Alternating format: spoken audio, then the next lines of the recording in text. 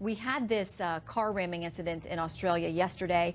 We were told initially this was a, you know, a disturbed individual. This wasn't necessarily about terrorism. How do you think that case is ultimately going to pan out? There's still many questions. Well, when one looks at the probability uh, of having an Afghan immigrant in Australia who also says to police that he ran over a bunch of people with his car in one of the busiest parts of Melbourne right before the Christmas holiday and did so because of the treatment of Muslims around the world.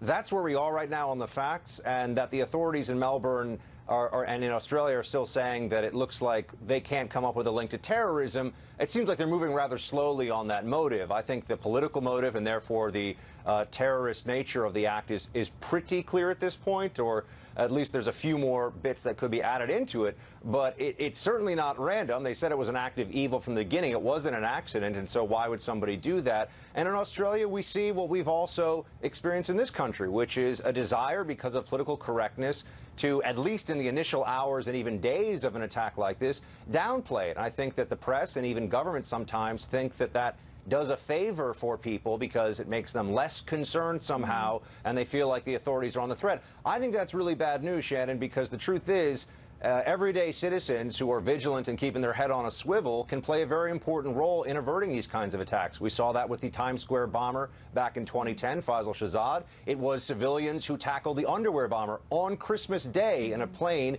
above Detroit. He could have taken down that whole plane if things had gone differently. So people, everyday folks, do have a role in this, and I don't think it's the place of the media or, quite honestly, of the authorities anywhere, Australia or elsewhere, to try and downplay the obvious motivations of some of these attacks.